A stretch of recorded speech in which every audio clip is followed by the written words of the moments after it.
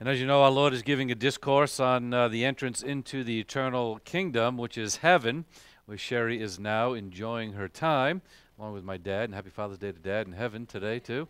All right. And uh, but uh, you know the other loved ones, Danny up there, and everybody else that's up there having a great time. But uh, again. Uh, again, uh, we uh, Jesus Christ was giving us uh, instruction in regard to entrance into the eternal kingdom, entrance into heaven, and uh, in this we find him uh, bumping into a rich young ruler, as he's called, a young man who was probably a, a, deacon in the local synagogue of the church in the town that Jesus Christ was passing through.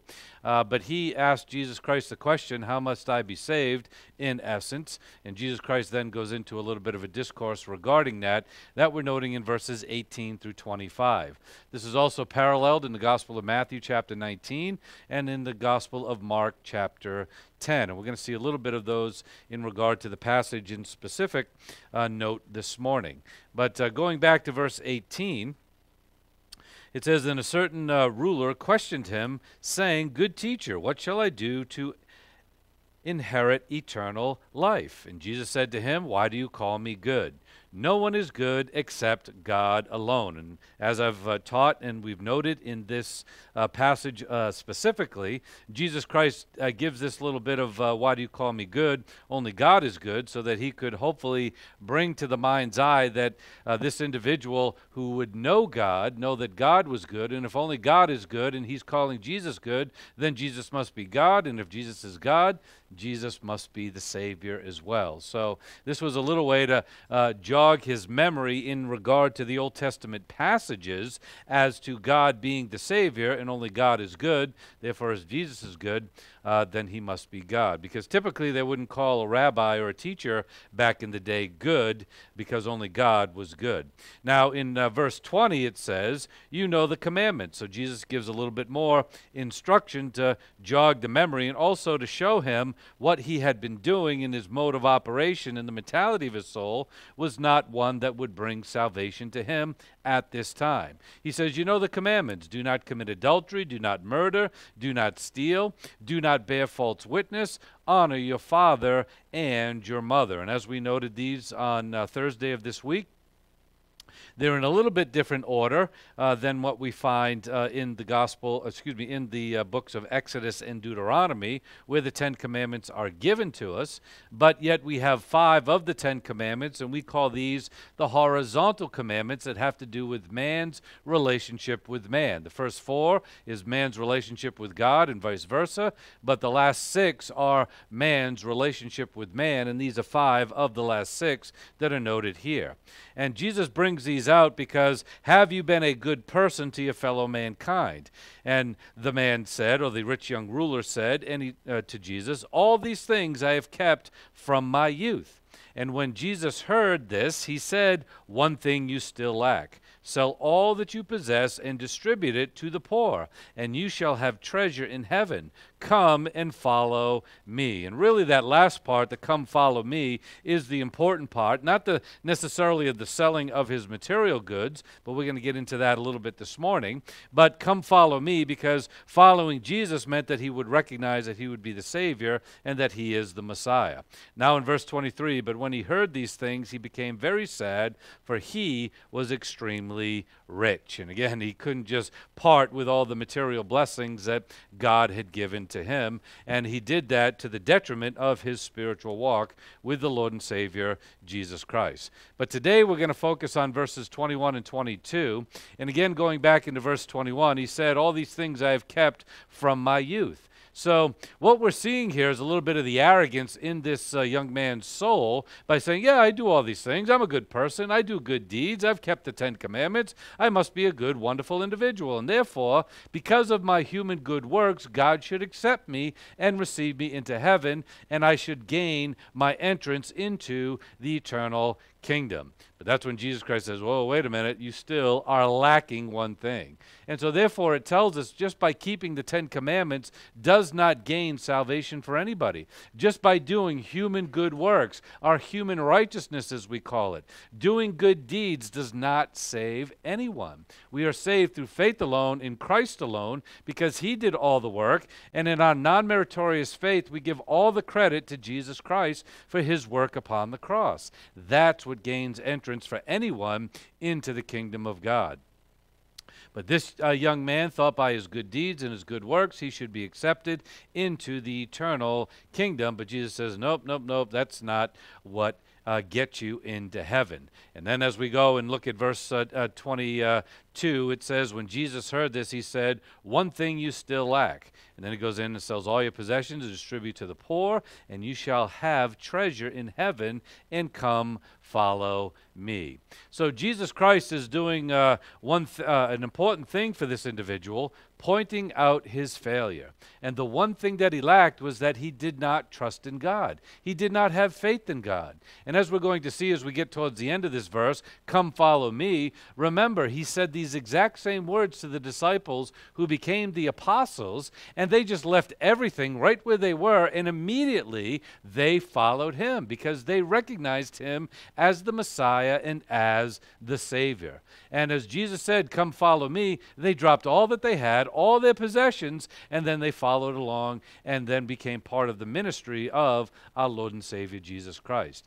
This young man did not do that. He did not drop everything. He did not want to sell all his goods and give it to the poor. He wanted to hold on to these things. And there's an interesting kind of play on words that you see in the Greek, not in the Hebrew here, in regard to all of this. And I'll kind of just jump to the chase. But, well, let me uh, put it right here because basically, Jesus Christ is pointing out that he lacks something. And the Greek word that we have here also means left behind. And what did he leave behind in the mentality of his soul? He was leaving behind God. You see, when Jesus says you lack one thing, okay, and then he goes in and sell all your goods and come follow me, the lack that he has is what he has left behind, and he left behind God. He left behind the Lord and Savior Jesus Christ.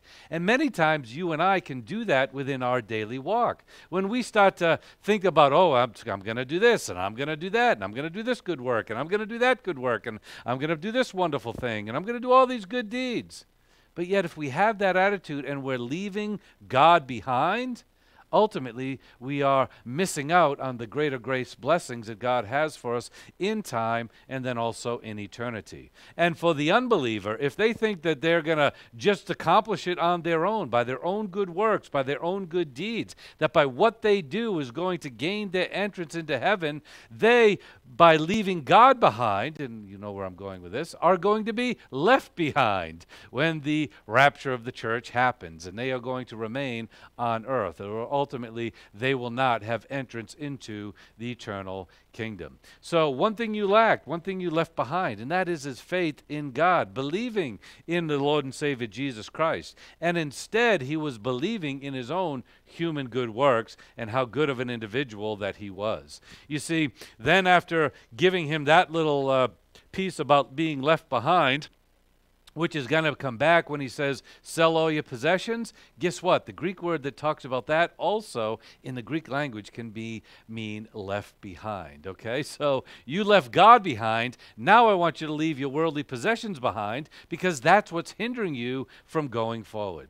So when Jesus Christ tells him and commands him to leave behind his worldly possessions, he does so so that ultimately he could then get rid of that which was holding him back. And many times, our material possessions or the things of this world, sometimes it can be relationships, sometimes it can be our job, or whatever the case may be. When we are doing those things without God in our lives, we are leaving God behind, and those things are becoming the one, number one priority within our soul. And ultimately, we're forgetting about God and we're just going forward in our daily lives. So basically, he's telling him to has left behind God to leave behind his material possessions, his worldly goods, so that ultimately he would not leave behind the Lord and Savior, Jesus Christ. And interesting in uh, James chapter 1, verses 4 through 8, I'll just read this. It says, Let endurance have its perfect result, that you may be perfect and complete,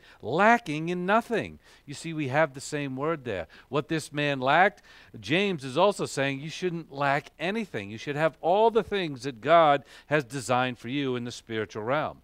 It says, But if any of you lacks wisdom, and remember, wisdom is that epignosis doctrine that is applied to life, the Word of God that we apply to life. If anybody lacks that, it says, let him ask God who gives to all men generously and without reproach, and it will be given to him.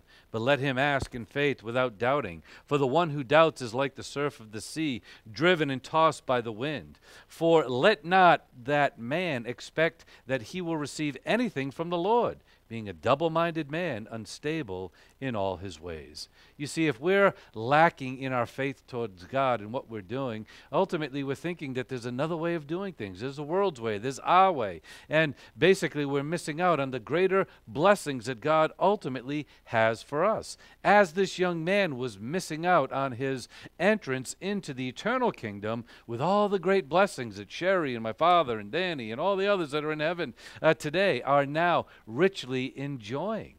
Again, many great blessings. And the things that we have of this world are nothing compared to what God has for us in heaven. And if we like to think in terms of, again, the uh, gold and silver and precious gems that we have on this earth and the collection of them, and thinking that how much we have is a wonderful thing and how beautiful and rich we would be, just think about this. In the eternal kingdom, there will be a new Jerusalem and guess what? Each of the doors, each of the gates, which are over 12 feet high, say they're 12 by 12, are going to be made of a pearl. Okay? How big of a pearl? Do you think we have any clams that are that big that can make that size of a pearl here on planet Earth? And we just look at one pearl, we say, I'm rich, I'm rich, I'm rich. 12 by 12 pearl is the gate, and there's going to be 12 of them. Again, how much more riches are there in the heavenly realm, even from a materialistic perspective? Okay? Never mind that, but the riches that God gives us of the peace and happiness and joy that we can't even imagine today that we'll have in the eternal state as well. So, again, our Lord is basically telling him what he tells us all to do is jettison the garbage that is within our soul that is holding us back. Again, don't let anything in this world hold you back from going forward in the plan of God. Don't let your family, don't let your friends, don't let your material possessions, don't let anything hold you back. Jettison those things from your life and then ultimately pursue God in all that you do.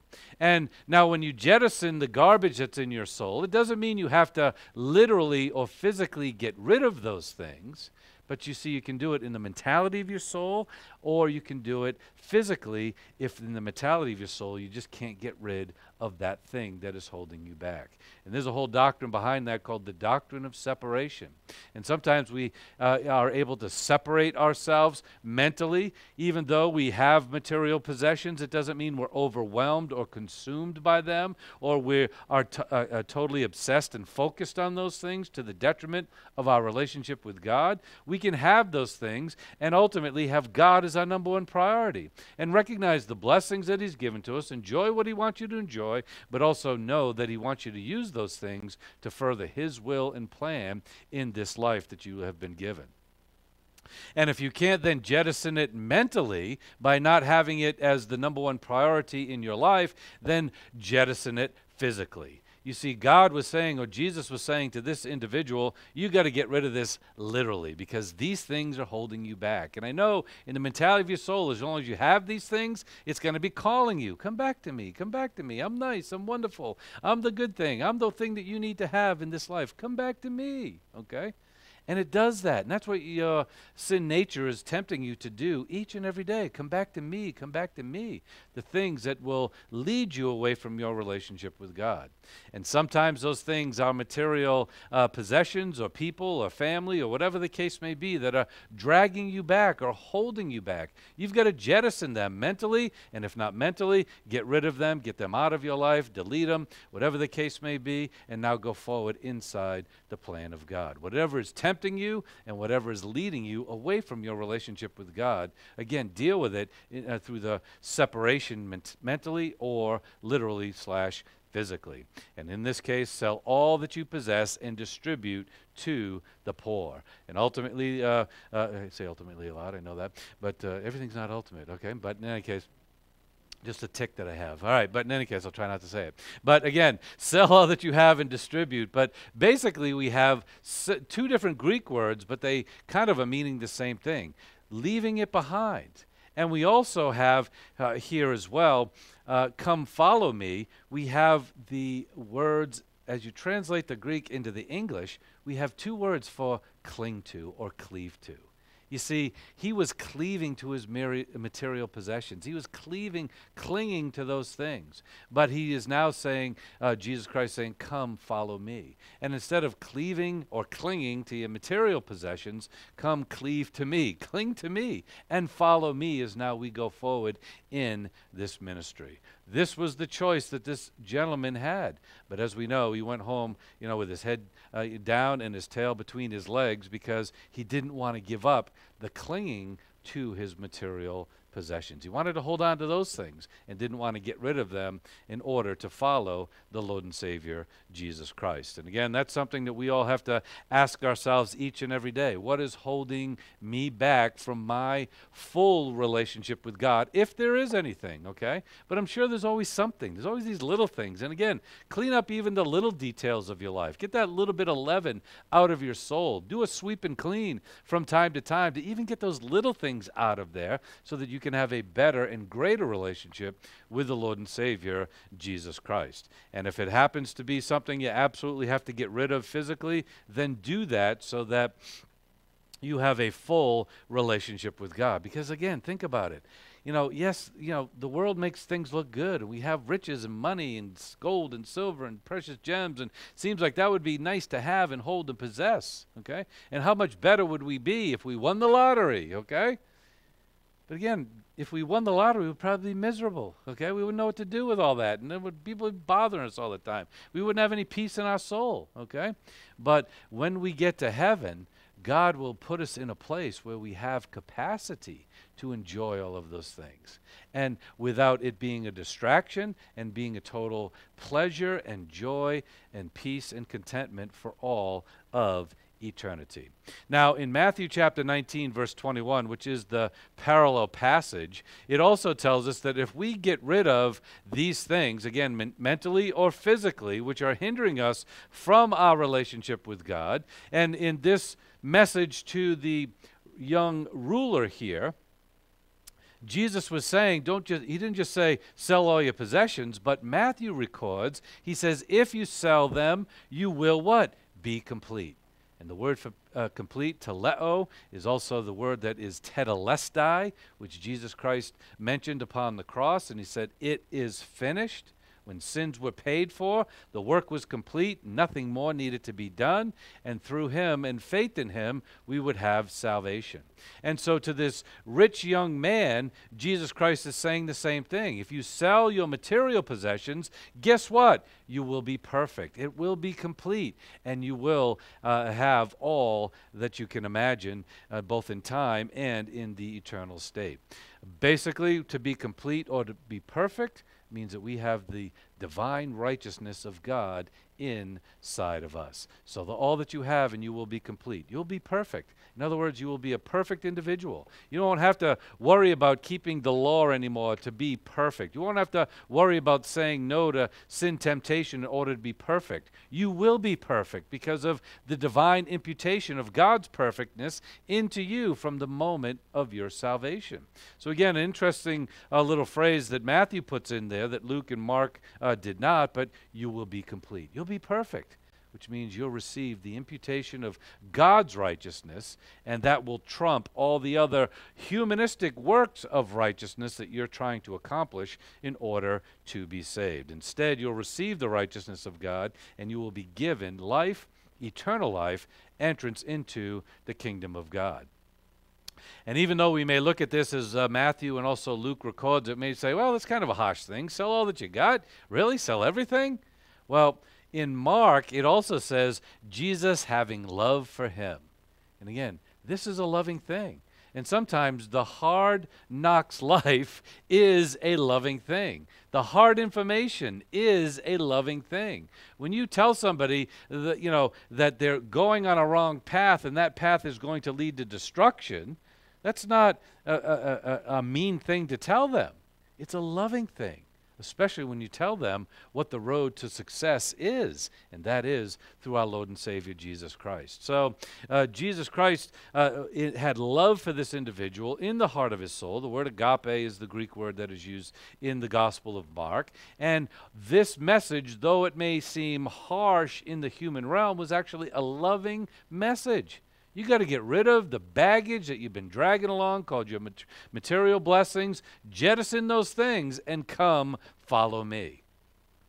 And Jesus Christ knew that if uh, he told him these things, there was a potential that he would get rid of those things and follow Jesus. And if he followed Jesus, what? He would have eternal life and he would have the inheritance of the kingdom of God. Greater grace blessings, both for time and eternity. But he also knew that if by telling him these things and he did not do these things, he also knew that this young man would not gain the greater blessings that God has for him and would just live a life of worldliness. And then when the world you know the life in the world is over so wouldn't the riches and blessings and everything else that he had in this life. They'd be done because as they like to say you can't take it with you, okay? And you can't take it certainly into the eternal lake of fire and have it with you for all of eternity. What you have is going to be left behind here on planet Earth anyway. So why not leave it behind now and then follow the Lord and Savior Jesus Christ and have the greater blessings in the eternal state? So again, he was trying to give him these things because they were hindering him. They were stopping him from going forward and uh, following Jesus Christ and entering into salvation. And what we also find is that it was interesting that, uh, you know, this young man had such a proclivity to following the law. Oh, I've kept all the commandments. I've done them from my youth, he said, since I've been a young man or a young boy, because now he's a young man. Since I've been a young boy, okay? Since my youth, he said. I've been keeping all these things. And Jesus like, okay, well, you think you're so good at keeping all these commandments? Let me give you one more, okay? And in the Greek, again, sell all that you have is in the imperative mood, a command from Jesus. Come follow me is in the imperative mood, a command from Jesus. So this young man who loved to follow the commandments was given two more. Sell what you have and follow me. And if you're so good at keeping all the commandments, keep these two as well. And now do it. So let's turn our Bibles. Let's go to 1 Timothy chapter 6.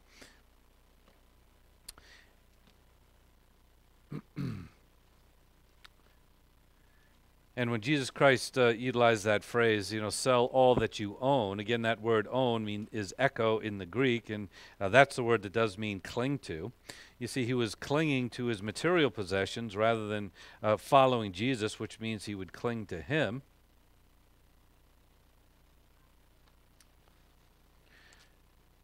In 1 Timothy chapter uh, 6, to get there. But before we read in our Bibles, let me show you a few verses up on the board here. In Matthew chapter 13, verse 44, we have similar uh, mandates uh, throughout the Word of God. It says, The kingdom of heaven is like a treasure hidden in the field, which a man found and hid again. And from joy over it, he goes and sells all that he has and buys that field. In other words, he sells all his goods so that ultimately he can have the kingdom of heaven, which means salvation through the Lord and Savior, Jesus Christ. He sells off all that he has so that ultimately he can follow the Lord, which this young man did not do. In Luke chapter 12, in verse 33 through 34, we've also uh, noted this Sell your possessions and give to charity. Make yourself money belts which do not wear out, an unfailing treasure in heaven, where no thief comes near nor moth destroys. And then it goes on to say, For where your treasure is, there your heart will be also. And that's the fact of reality for each and every one of us. Where is your treasure? Is your treasure in the things of this world, in the people of this world, in the material blessings that you have, in the hobby that you might have? Is that where your treasure is? Or is your treasure Jesus Christ? The Word of God, the mind of Christ, and going forward inside the plan of God. And believe you me, whatever you think of all the things of this world, Jesus Christ is a greater treasure than all of them combined. And by taking that treasure of Jesus Christ and making that yours, not only in time, but as I've explained, in the eternal state, there will be even more fantastic treasures that come as a result of that. But as long as we cling on to the earthly things, it's going to hold us back from our great relationship with the Lord and hold us back from the uh, blessings that we could have in the eternal state. In Luke chapter 12, verse 21, it says, uh, So is the man who stores up treasure for himself and is not rich towards God. And remember, this was the story of the farmer who had so much and was blessed out of his mind. He teared down his barns and built new ones so he could store even more. Jesus Christ said, You fool, you do not know that your soul is required from you tonight. Now, who's going to have and enjoy all your riches? Not you. Okay? Somebody else is going to come. Maybe, you know, uh, your son or your, your, your heirs, or maybe the, somebody else comes along and enjoys it. But you spent all your time on these earthly riches and wealth. Now, who's going to enjoy it? When your life is now forfeited and you leave planet Earth ultimately it's going to be someone else. And we also recognize, as uh, I like to say from time to time again, remember, it's all going to be burnt up. It's all burnt, okay?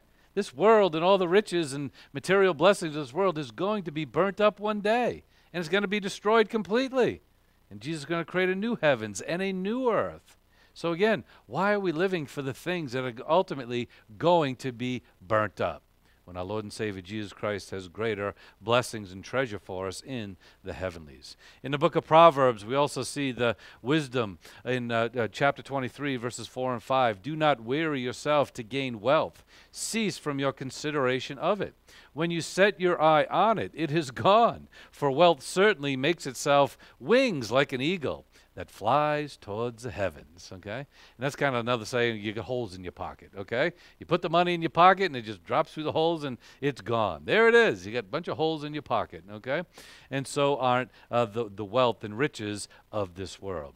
In Proverbs chapter 27, verse 24, it says, For riches are not forever, nor does a crown endure to all generations. So again, reminding us of the fleetingness and the fleeting nature of the material possessions of this world. And then we also see in Hebrews chapter 13, verse 5 make sure that your character is free from the love of money, being content with what you have. For he himself has said, I will never desert you, nor will I ever forsake you. And many times people think that their riches and their wealth is going to save them, especially in times of difficulty or turmoil or uh, even in health situations. But our Lord has a greater promise for us. He will never leave us, He will never desert us, He will never forsake us. He will always be there, and He will always care and provide for us as long as we're here on planet Earth. All right, so let's go to 1 Timothy chapter 6. And in verses uh, 6 through 10 specifically, it says, But godliness actually is a means of great gain. When accompanied by contentment.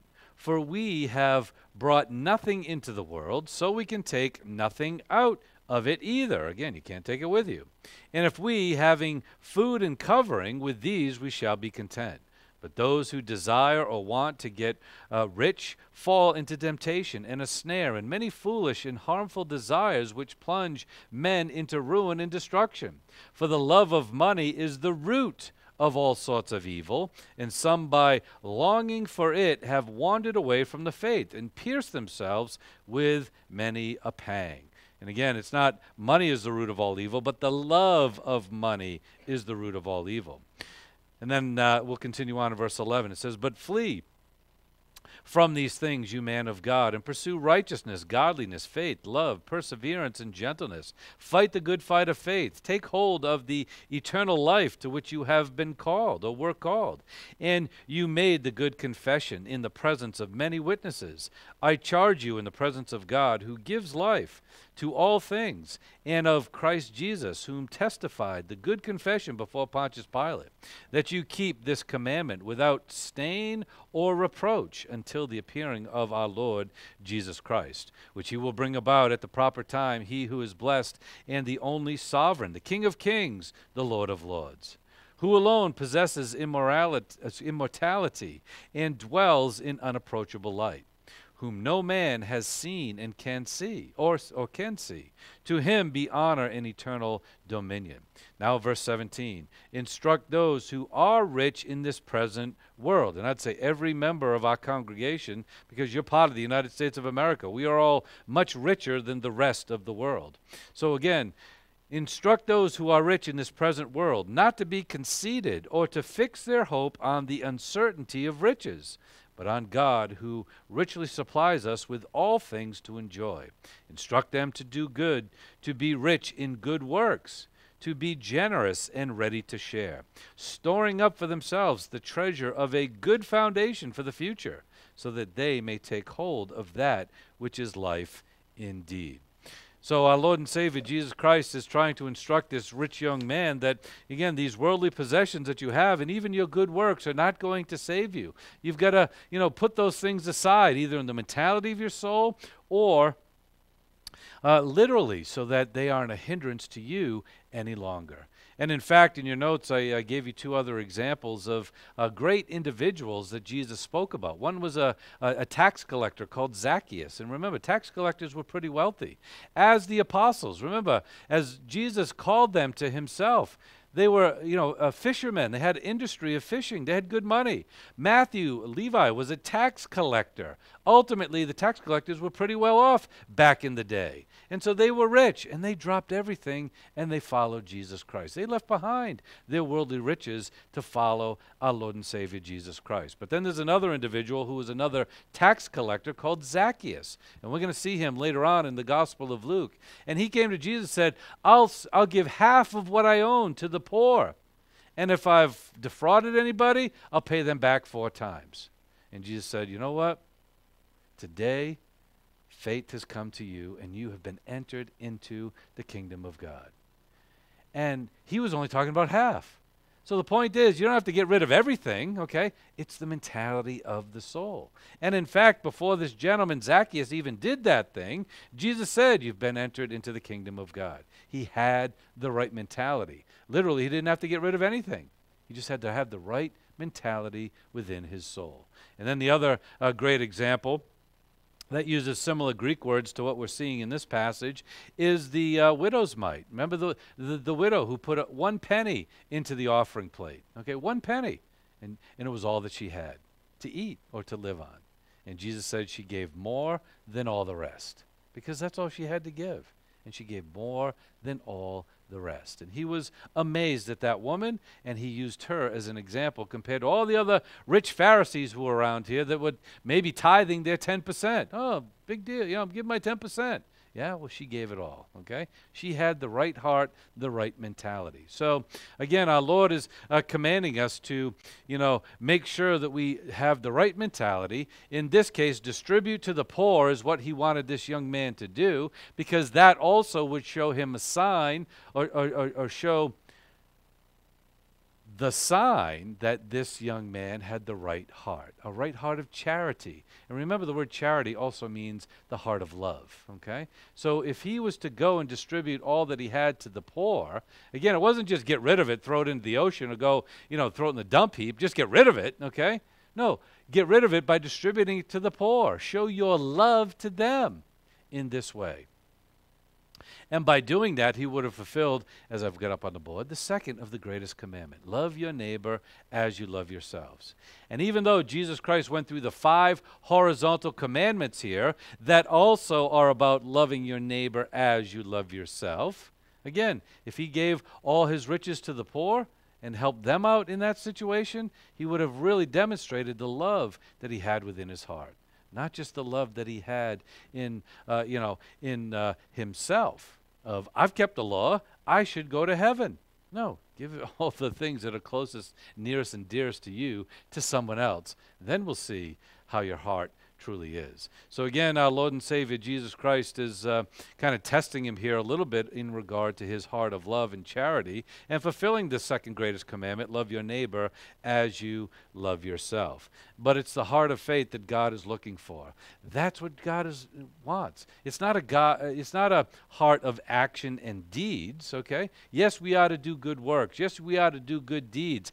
But that's after our salvation. Prior to that, we can't do divine good works. Only after our salvation can we do uh, the fruit of the Spirit, produce the fruit of the Spirit, and produce the good works that God wants us to produce. But prior to that, and after, it's all about a heart of faith. So it's a heart of faith that God is looking for. It's a heart of faith that receives the propitiation of God, that God is satisfied with the work of Jesus Christ, and that being given to you as we've studied. It is the heart of faith that does not need to cling to the material possessions. And again, if you're clinging to anything in this life, again, do you truly have a heart of faith?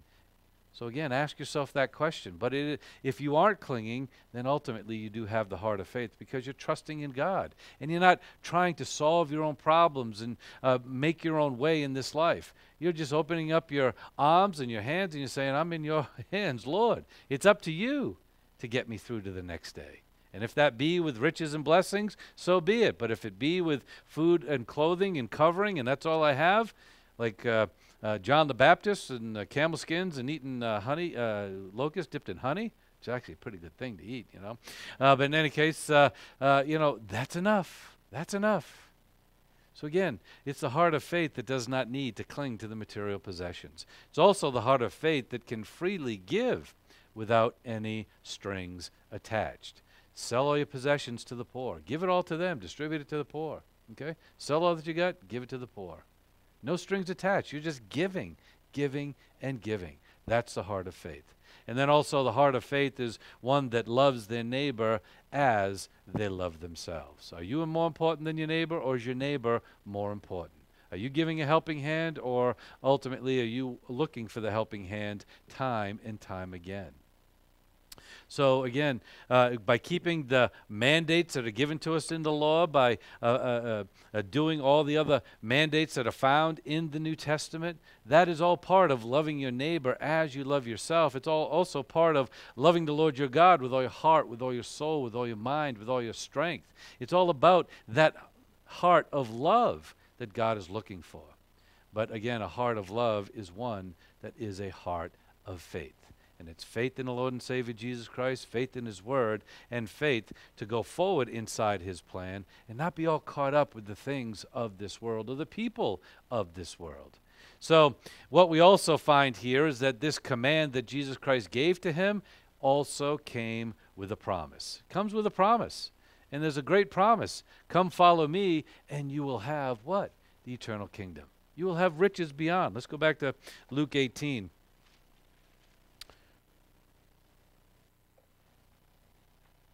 As it says in the last part of verse 22. After he says, distribute it to the poor, it says, and you shall have treasure in heaven. You shall have treasure in heaven. So there's a promise to this blessing. Just like in the Ten Commandments, as we studied, to honor your father and your mother. It was the only commandment that was given that has a blessing associated with it. Jesus Christ uh, gave a new commandment to this individual. Sell all that you have, distribute the, you know, the proceeds to the poor.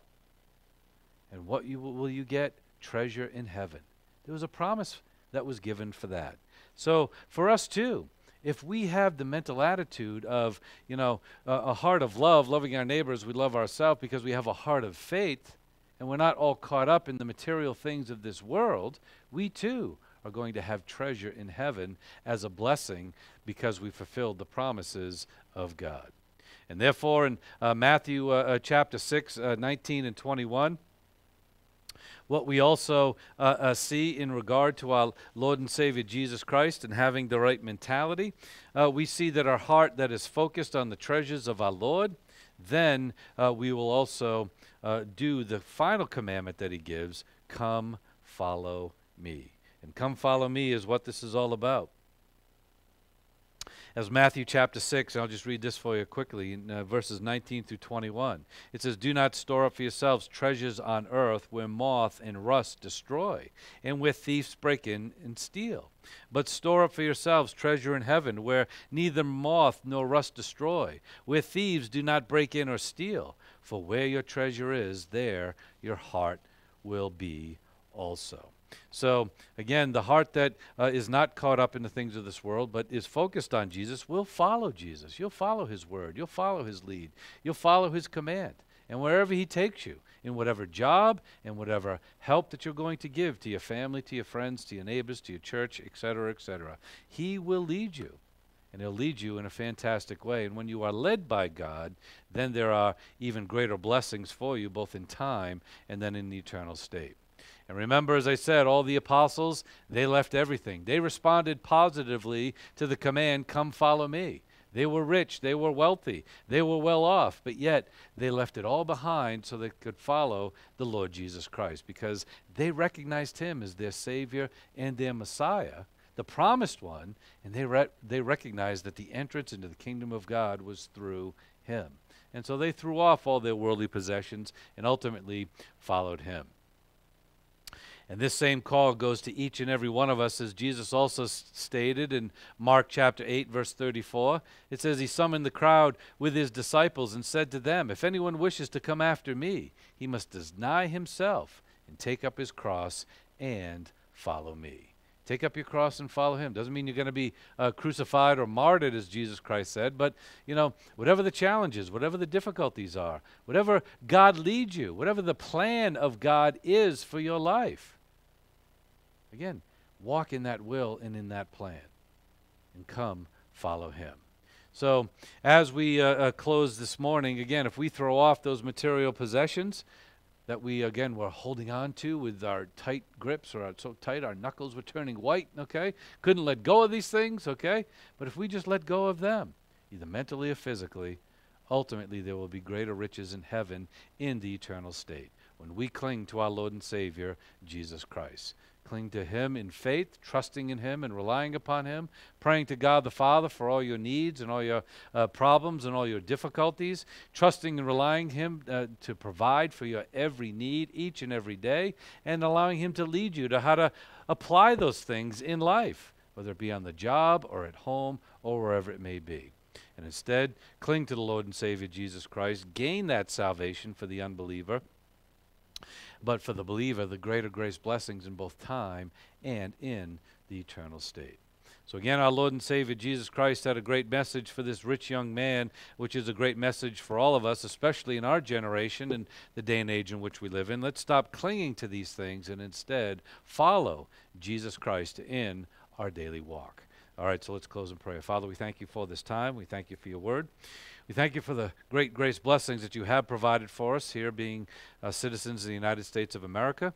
And we ask that you continue to provide for every need, Father, and uh, but help us not to be overwhelmed or uh, focused by those things, but instead concentrate on you and the great plan that you have for our lives through your Son, Jesus Christ. So, Father, we thank you for this time in Christ's precious name. Amen. All right. Thank you very much.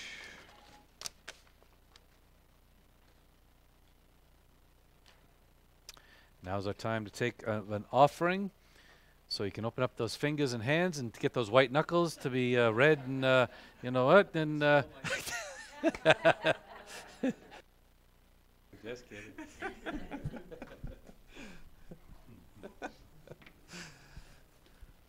okay, let us uh, pray for our offering. Lord, we pray that you continue to bless our congregation with gracious givers, and you bless all that we are able to give so that we may meet our financial obligations, and your word, the truth, will continue to be taught from this pulpit. Through Christ we pray with the power of the Holy Spirit. Amen.